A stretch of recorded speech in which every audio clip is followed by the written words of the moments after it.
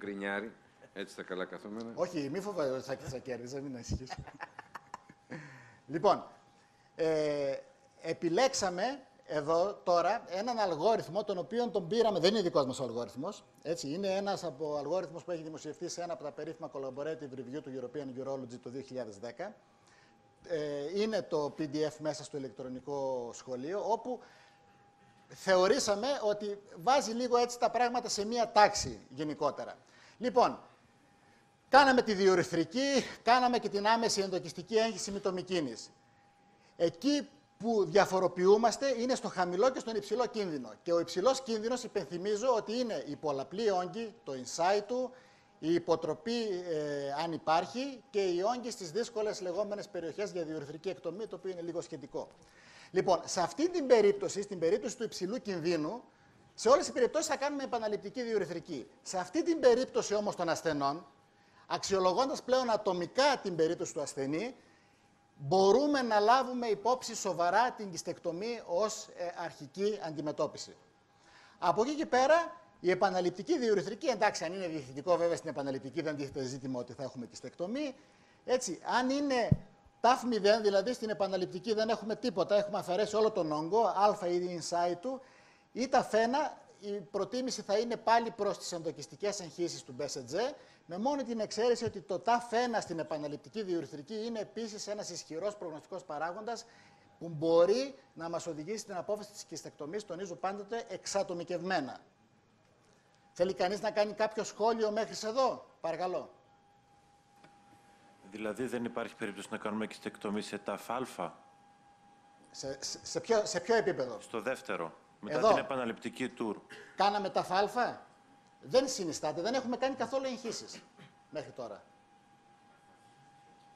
Εντάξει, Ακόμα μπορεί να και αν είναι υποστήριξα σε εγώ την κόλπωμα. κιστεκτομία, αλλά το θεωρώ ότι δεν είναι η πρώτη μας επιλογή. Ακόμη και να είναι σε κόλπωμα. Το εκόλπωμα είναι μια τελείως διαφορετική περίπτωση. Έτσι, είναι τελείως διαφορετική περίπτωση, γιατί θεωρούμε ότι είναι ουσιαστικά σχεδόν εξοκιστική νόσος πιθανότατα. Είναι διαφορετική. Ας το αφήσουμε λίγο το εκόλπωμα, γιατί γίνεται πολύ μπερδεμένο. Παρακαλώ. η ιστολογική εικόνα του ώμου. Δηλαδή, κύριε καθηγητά, η ιστολογική λέει κύτταρα signet cell, δίκην σφραγιστήρος κυτάρα. Αδενοκαρκίνωμα. Δεν θα σας πάει πολύ πιο γρήγορα στην ε, ριζική. Δεν αναφερόμαστε στο αδενοκαρκίνωμα, αναφερόμαστε στο μεταβατικό επιθύλιο. Το αδενοκαρκίνωμα ξε- τα ξεχνάμε όλα. Πάμε στην κιστεκτομή. λοιπόν, να... Διονύση, κάποιο σχόλιο για τον αλγόριθμο; Δεν είναι δικός μας ο αλγόριθμος, το ξανατονίζω, έτσι. Λοιπόν, απλώς τον υιοθετήσαμε. Στις διαφάνειες λιγάκι. Λοιπόν, είμαστε. σημαντικό αυτό το οποίο είπατε, ότι τα στοιχεία της επαναληπτικής διουρηθρικής μπορεί να είναι αρκετά καθοριστικά για την αντιπεραιτέρω Είναι ί- ίσως το, το κομβικό του σημείο. καρκινώματος από μεταβατικό επιθύλιο, το τονίζουμε και όχι αντενοκαρκίνωμα, ήταν σημαντική παρατήρηση του καθηγητή και του κ. Σοφικίτη, και που δεν εμπλέκεται ο παράγοντας ε- εκόλπωμα της κίστεως, γιατί εκεί δεν υπάρχει μυϊκός χιτώνας κλπ. κλπ. Έτσι, τα κλασικά πράγματα. θα Πολύ ωραία. Λοιπόν, είμαστε λοιπόν εδώ στις εντοκιστικές εγχύσει. Έχουμε κάνει δηλαδή εντοκιστικές εγχύσει BSG μετά από την επαναληπτική διορυθρική, είτε είναι τα α είτε είναι τα φένα. Λοιπόν, συνεχίζουμε. Εδώ λίγο γίνεται λίγο πιο μπερδεμένος ο αλγόριθμος. Θα τον απλοποιήσω. Κάναμε την πρώτη κυστεοσκόπηση και ήταν αρνητική. Ακολουθούμε ένα σχήμα συντήρησης με BSG, όποιο θέλετε, και παρακολούθηση. Στο TAF2, αν μας προκύψει υποτροπή, που στη δεύτερη διορυθρική είναι TAF2, η κιστεκτομή δεν συζητιέται. Είναι αναμφισβήτητη. Εάν είναι TAF1, εκεί είναι πάλι το μεγάλο μας ερώτημα. Έχουμε TAF1 μετά από TAF1, πρώτη υποτροπή. Και εδώ πρέπει σαφώς κανείς να λάβει υπόψη την κιστεκτομή, νομίζω. Σαφώς πρέπει να τη λάβει υπόψη. Εναλλακτικά μπορεί να ακολουθήσει ένα δεύτερο κύκλο BSG και εδώ βέβαια οι συγγραφείς που γράψαν το άρθρο προτείνουν και το συνδυασμό του BSG με την Ιντερφερόν, η οποία είναι ένας λίγο αμφιλεγόμενος συνδυασμός, περισσότερο θα έλεγα ότι επιλέγεται από αυτόν που πάρα πολύ ισχυρά θέλει να αποφύγει την κιστεκτομή ως μια εναλλακτική λύση. Είμαστε τώρα λοιπόν εδώ μετά και δεύτερο κύκλο. Δεν κάναμε κιστεκτομή. Είμαστε και μετά από δεύτερη αποτυχία του BSG. Εδώ πλέον τώρα οποιοδήποτε ταφ 1, ταφ 2, ταφ inside του πάει ασυζητητής στην κιστεκτομή. Αν είναι ταφ α, αν είναι ταφ α, μπορεί κανείς να είναι συντηρητικός ως επιλογή. Εάν πάμε τώρα διαφορετικά ότι από την πρώτη κυστιοσκόπηση είχαμε υποτροπή, τότε για να μην ξαναπώ λιγάκι τον αλγόριθμο ο οποίος ακολουθεί το ίδιο, ακολουθεί το ίδιο πρακτικά πρωτόκολλο, απλώς βάζει πιο επιθετικά μπροστά την κιστεκτομή, τονίζοντας ότι δεν θα πρέπει κανείς ίσως να περιμένει και τη δεύτερη αποτυχία του BSG σε μια τέτοια υψηλά επιθετική περίπτωση. Αυτά ήθελα να πω εγώ. Κάποια, κάποιο σχόλιο; Οι Παρακαλώ. αλγόριθμοι, καταρχήν να διευκρινίσουμε, δεν, είναι, δεν σημαίνει ότι αυτό εδώ πέρα είναι η, η παντοδύναμη γνώση. Απλώς βοηθούν, αν θέλετε, να ξεκαθαρίσει κανείς το μυαλό του ένα πλάνο προσέγγισης Λίγο με στο βάση λαβύρινθο που έχει δημιουργηθεί από αυτή την έτσι, ιστορία. μέσα στο χάος. Παρακαλώ, σχόλια. Να κάνω Βεβαίως. το δικηγόρο. Α, υπάρχει άλλος; Α, κύριε καθηγητά, συγγνώμη. Όχι, Ε, να μιλήσετε τελευταίος, θέλετε; Ωραία, παρακαλώ. Ε, ήθελα να ρωτήσω το εξής. Ε, πόσο σημαντικό ρόλο θα έπαιζε για την επιλογή σας η ηλικία του αρρώστου; Δηλαδή, αν μιλάγαμε για έναν άρρωστο που είναι περίπου στα 50-55 και αντίστοιχα έναν άρρωστο γύρω στα 70, θα ήταν σημαντικός ο ρόλος της ηλικίας τους Ναι, όσον θεωρώ αφορά την ότι είναι επιλογή πολύ σα. σημαντικός. Θεωρώ ότι σε έναν άρρωστο που είναι νεαρής ηλικίας με μεγάλο να είμαστε πιο- προσδόκιμο πιο επιβίωσης, επιθετικοί. πρέπει να προσπαθήσει να το εξασφαλίσει στο υψηλότερο ποσοστό δυνατής επιβίωσης. Το ίδιο ισχύει και για την, συγγνώμη, και για την επιθυμία του αρρώστου. Δηλαδή, σε έναν άρρωστο ο οποίος θα επιθυμούσε είτε τη μία λύση είτε την άλλη.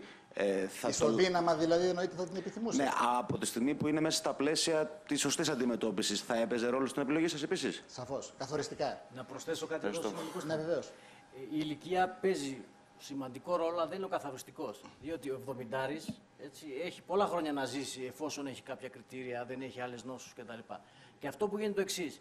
Πάει συντηρητικά μπεσετζέ, μπεσετζέ, μπεσετζέ. Αρχίζουν οι υποτροπές, αρχίζουν οι αιματουρίες. Κάποιος τους στέλνει, δεν έχει τίποτα άλλο να κάνει γιατί μάλλον έχει ξεφύγει νόσο. Έχει χειροτερέψει αυτός και σαν ηλικία. Στέλνει για ακτινοβολία. Αρχίζουν όλα τα προβλήματα της αιματουρίας που μπαίνει και βγαίνει, μεταγγίσεων, πόνος κτλ. Καταλήγει με δύο νεφροστομίες, με λοιμώξεις, με επιπλοκές κτλ. Και είναι άρρωστοι που τουλάχιστον εμείς τους έχουμε μόνο εμείς και είναι μεγάλη ταλαιπωρία για τον οποιοδήποτε να χειρίζεται αυτούς τους ασθενείς. Και πολλές φορές οδηγούμαστε σε κυστεκτομή για να σώσουμε τουλάχιστον αυτά. Δηλαδή το 70 ναι μεν παίζει σημαντικό ρόλο, το 50 σίγουρα θα κάνεις κάτι νωρίτερα, αλλά για τον 70 έστω και τον 80 γιατί έχουν βγει και paper που, που υποστηρίζουν ότι δεν έχει τεράστια διαφορά στην επιβίωση, ούτε στη δυσκολία, ούτε στις επιπλοκές μετά και ο 80 μπορεί να χειρουργηθεί. Κάποιος από εγώ Προφανώς πάλι δεν θα από- κάνεις μεγάλη Πάλι από την πρακτική βάση, η συμβουλή που δίνω είναι, κοιτάξτε να δείτε, θέλω να υπολογίσετε την πορεία της νόσου. Αυτό που τόνισε ο κύριος Τζόρτζης, ότι υπάρχει πιθανότητα να εξελιχθεί με, με αυτόν τον κακό τρόπο. Οφείλετε να το πάρετε στον, σοβαρά υπόψη και να πάρετε ίσως δραματικές αποφάσεις, αλλά πριν καταλήξουν τα πράγματα είναι δραματικά για τον ίδιο τον άρρωστο. Δηλαδή θα μπορούσαμε, συγγνώμη, θα μπορούσαμε για να το απλουστεύσουμε ακόμα περισσότερο να πούμε ότι όταν θα βρούμε ένα τέτοιο όγκο, μιλώντας καλά με τον ασθενή, θα είναι αυτός που θα καθορίσει την εξέλιξη; Ή είναι πολύ απλουστευμένη αυτή η σκέψη; να, κα- να πάρει την απόφαση ο Ναι, ασθενής; δηλαδή μιλώντας καλά με τον ασθενή και εξηγώντας του τα δεδομένα. Εάν να είναι πάρει αυτός την απόλυτα απόφαση. ενημερωμένος για όλους τους κινδύνους και όλη την πιθανή εξέλιξη της νόσου, προφανώς ο ασθενής θα πάρει την, επι- την απόφαση. Δεν Άρα, θα πάρει ο επομένως, γιατρός. Αλλά πρέπει να, να ξέρει τι τον περιμένει όμως. Γιατί αν παρουσιαστεί το θέμα, θα σου βγάλω την κίστη και θα έχεις σακούλα. Έτσι, κανείς δεν πρόκειται να το δεχτεί έτσι κα- κατά αυτόν τον τρόπο. Έτσι, αλλά να, πρέπει να ξέρει γιατί θα γίνει αυτό και αν επιλεχθεί ε, το σχήμα που είπε ο Βασίλης προηγουμένως, δηλαδή διουρηθρική, διουρηθρική, μπεσετζέ, μπεσετζέ, ξανά διουρηθρική, μπεσετζέ, πού μπορεί να καταλήξει. Και ειδικά ένας νέος ασθενής που είπατε, σε τι κατάσταση μπορεί να καταλήξει. Λοιπόν, παρακαλώ, σχόλια. Θέλω να κάνω. Ναι.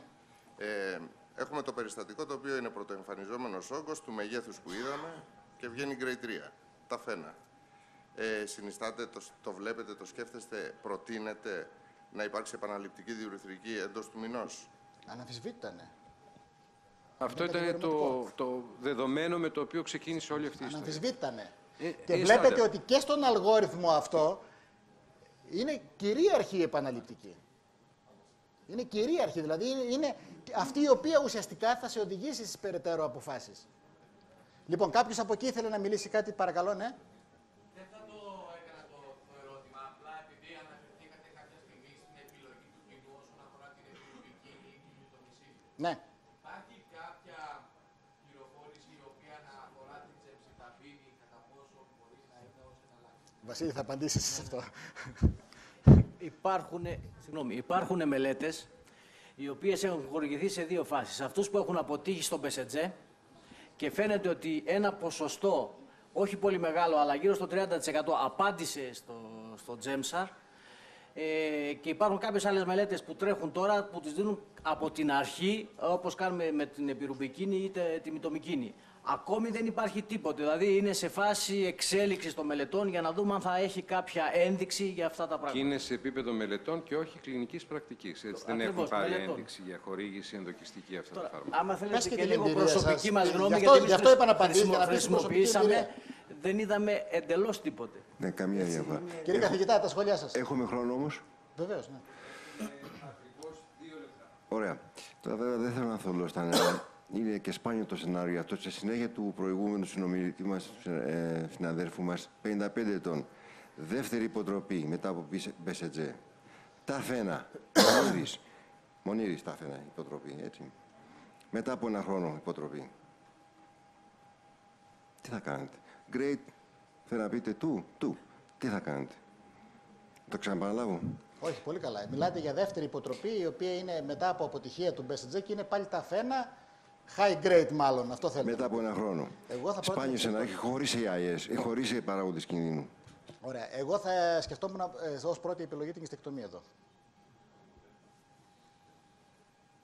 Είστε σίγουρος; Σας είπα την άποψή μου. Το σίγουρος, με τη...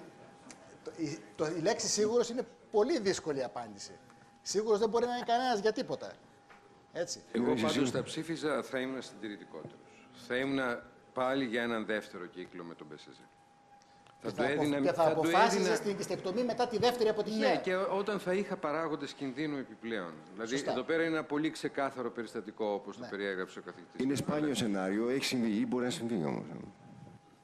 Οι αποφάσεις πάντοτε, πάντως πρέπει να το τονίσουμε, πρέπει να είναι εξατομικευμένες ουσιαστικά. Δηλαδή δεν μπορεί κανείς να βάλει μέσα στην ίδια φαρέτρα όλους τους ασθενείς. Ε, πρέπει να είναι Θα εξατομικευμένη. σα βοηθούσε απόφαση. η απόφαση, η συναπόφαση του, του ασθενούς. Τι θα προτιμούσε; Πάρα πολύ φαντάζομαι. Σαφώς. αν ο ασθενής καταρχήν απορρίπτει την κυστεκτομή. Έχουμε όλοι νομίζω εμπειρίες από ασθενείς οι οποίοι κατηγορηματικά αρνούνται την κυστεκτομή. Δεν τη θέλουν με τίποτα. Και λένε: Εγώ θα πάω όσο πάω, κάνε μου ό,τι άλλο θέλεις, αλλά δεν θέλω να βγάλω την κίστη. Τι μπορώ να τον κάνω εγώ εκεί πέρα. Αλλά αυτό είναι ένα, ένα σενάριο διαφορετικό. Ε, το σενάριο που περιγράφεται, μιλάτε για υποτροπή με έναν όγκο ταφένα. Θα συμφωνήσω με τον ε, Διό- Ο Διονύσης είναι πιο συντηρητικός. Έτσι, αν είναι μονήρης ο όγκος, μονήρης και η υποτροπή, Και και, κάτω είναι των δύο μικρός, εκατοστών. κάτω από τα 3 εκατοστά ή κάτω από τα 2 εκατοστά, αν θέλετε, θα βάλω λίγο νερό στο κρασί μου να πάμε και λίγο προς τη συντηρητική. Αλλά μέχρι εκεί. Να Μετά θα προσθέσω- χάσουμε το παιχνίδι. Να προσθέσω κάτι Κώστα. Ναι. Δυστυχώς το λέω αυτό, ε, διαβάζοντας αυτά τα πράγματα, η μοριακή βιολογία που περιμέναμε να δώσει κάποιες απαντήσεις, κάποιες λύσεις, δεν έχει έρθει ακόμα. Δηλαδή το P53 ή κάποιοι άλλοι δείκτες μοριακοί δεν έχουν βοηθήσει στην απόφαση για τις επιθυμίες. Θα μας πει ο κ. Είχε Μητρόπουλος υπάρξει ένα, όμως, ένα, ένα ηρωνικό σχόλιο κάποια στιγμή. Poster boys, we don't need any more posters. Εντάξει. λοιπόν, και είναι απόλυτο δίκιο για αυτό το πράγμα. Θέλουμε και λίγα, πέρα από την επιστήμη την βαριά, θέλουμε και κάτι πολύ χειροπιαστό στα χέρια μας. Νομίζω πως ολοκληρώθηκε με επιτυχία και επιτυχία είναι ότι δεν είχαμε κανέναν από τους δύο μονομάχους να, είναι, να σπαρταράει έτσι σε αυτή την ιστορία. Κηρύσω την μονομαχία ισόπαλη ως διαιτητής. Όχι, δεν είναι ισόπαλη η μονομαχία. κύριε Κηρύσω Μητρόπουλε. την ισο... Είναι- Μην με είναι σαφής. ξανακαλέσετε ως διαιτητή σε τίποτα. Έτσι έχω το απόλυτο δικαίωμα κηρύσω την ισο... ισόπαλη. Νομίζω πως έχουμε διάλειμμα τώρα, έτσι δεν είναι; Ναι, έχει διάλειμμα.